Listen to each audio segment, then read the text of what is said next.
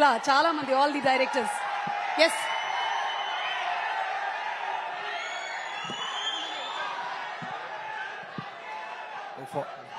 Title fix చేస్తారా? Okay okay Prabhas గారితో. సినిమాకి కంగ్రాచులేషన్స్ అండి. థ్యాంక్ యూ అండి థ్యాంక్స్ ఒక్క నిమిషం అండి ఒక్క నిమిషం. అసలే నాకు భయం. మీరు ఇంకా అరిస్తేనే ఇంకా భయం నాకు. అందరికీ నమస్కారం అండి. నాని కంగ్రాట్స్ సిక్స్టీన్ ఇయర్స్ రా. ఈ సిక్స్టీన్ ఇయర్స్లో నాని ఒక రెండు జనరేషన్స్ కవర్ చేశాడు. ఆ రెండు జనరేషన్స్కి వాళ్ళు ఎవరంటే వాళ్ళ గ్రేట్ మెమరీస్లో ఉండిపోయాడు చాలా మంచి మంచి సినిమాలతోటి. నేను రీసెంట్గా నాని ఒక టూ వీక్స్ బ్యాక్ కలిసానండి అప్పుడు ఫస్ట్ టైం నాని ఎంత సీరియస్ పర్సనో నాకు అప్పుడే అర్థమైంది. తను మాట చెప్పాడు. కోవిడ్ టైంలో అంట మనందరం వేరే వేరే రీజన్స్కి భయపడుతున్నాం. కోవిడ్ టైంలో నాని భయం ఏంటంటే తను అప్పటిదాకా చేసింది ట్వంటీ ప్లస్ ఫిలిమ్సే అంట.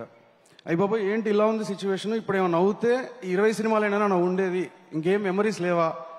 అందుకని చాలా మంచి సినిమాలు చేయాలి చాలా ఫాస్ట్గా సినిమాలు చేయాలి క్వాలిటీ సినిమాలు చేయాలి జనాల మెమరీలో ఉండే సినిమా చేయాలని చెప్పి తను మొదలుపెట్టాడు జర్నీ మీరు చూస్తే పోస్ట్ కోవిడ్ అంటే ఆ ఫియర్ చూడండి దేని గురించి ఉందంటే ఓన్లీ సినిమా గురించి ఉంది. ఇంకా దేని గురించి లేదు తనకి.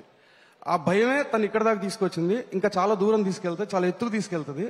మీరు పోస్ట్ కోవిడ్ తర్వాత తను తీసిన నాలుగు సినిమాలు చూస్తే మన శ్యామ్ సింగ్ రాయ్ ఒకటి అంటే సుందరానికి దసరా అండ్ ఇప్పుడు సరిపోదా శనివారం. హాయ్ నాన్న సారీ. ఐదు. అంటే అది కేవలం నాని వల్ల మాత్రమే అయింది అది. అది దేని వల్ల అంటే సినిమా అంటే భయం సినిమా అంటే భక్తి సినిమా అంటే ప్రేమ.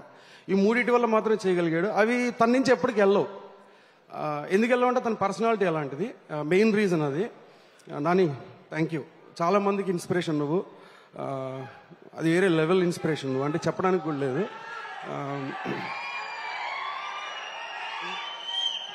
నాకు కనపడతలేదు. ఓకే ఒక్క నిమిషం ఒక్క నిమిషం. ప్లీజ్ ప్లీజ్ నన్ను కొంతసేపు మాట్లాడివ్వండి ప్లీజ్ సూర్య గారు విలన్ క్యారెక్టర్ని సెలబ్రేట్ చేసుకున్న సినిమా నాకు తెలిసి ఎంటైర్ ఇండియా నాకు తెలిసి షోలే. గబ్బర్ సింగ్ గారి క్యారెక్టర్ దాని తర్వాత దాని తర్వాత ఒక ఒక ఒక నెగిటివ్ క్యారెక్టర్ని సెలబ్రేట్ చేసుకుంటున్న సినిమా నాకు తెలిసి సరిపోదు సినిమా. నేను మళ్ళీ మధ్యలో చూడలే ఇప్పటి వరకు. Thank you very much sir huge fan అందరిలాగే. థ్యాంక్ యూ అండి. ప్రియాంక గారు మీరు చాలా బాగున్నారండి ఈ సినిమాలో. అండ్ ఒక్క నిమిషం అండి. అసలు అన్నిటికంటే ఎక్కువ హ్యాపీ ఏంటంటే నాకు నాకు వివేకాత్రేయ అంటే నాకు చాలా ఇష్టమైన డైరెక్టర్ తను. అంటే సుందరానికి నాకు చాలా చాలా ఫేవరెట్ ఫిల్మ్ అది. ఎందుకంటే దాంట్లో చాలా కాంప్లికేటెడ్ సీన్ స్టేజింగ్ ఉంటుంది. అది ఎంత కన్విన్సింగ్గా అంటే ఒక మెచ్యూరిటీగా మాట్లాడాలంటే నాకు తెలిసి ఒక నలభై యాభై సినిమాలు తీసిన ఒక డైరెక్టర్కి ఉన్నంత మెచ్యూరిటీతో హ్యాండిల్ చేశాడు ఆ షార్ట్స్ అన్ని. వివేక్ ఎక్స్ట్రాడినరీ నాకు ఒక one year back cricket match ఆడుతుంటే ఆ రోజు చెప్పాడు ఈ కథ ఆత్రేయ. నాకు చాలా చాలా హ్యాపీ అనిపించిందండి. నిజంగా అంటే complete genre shift gear change చేసి మొదలుపెట్టాడు. సూపర్ అతను వెరీ హ్యాపీ ఫర్ యూ ఇందాకే ఎవరు వెంకట్ చెప్తున్నాడు అతనికి అసలు ఒంట్లో బాగాలేదంట పాపం లాస్ట్ డేస్ పోస్ట్ ప్రొడక్షన్ టైంలో బెడ్ మీద పడుకుని అక్కడి నుంచి కదలకుండా అయినో ఆ టైంలో నాని ఎలా ఉంటాడో నాకు తెలుసు. డెఫినెట్గా రైట్ హ్యాండ్ లెఫ్ట్ హ్యాండ్ అన్ని తనే ఉంటాడు. Thank you congrats to the entire team ఇంకెవరన్నా మర్చిపోయింటే మాత్రం very sorry sir sorry sorry background score particularly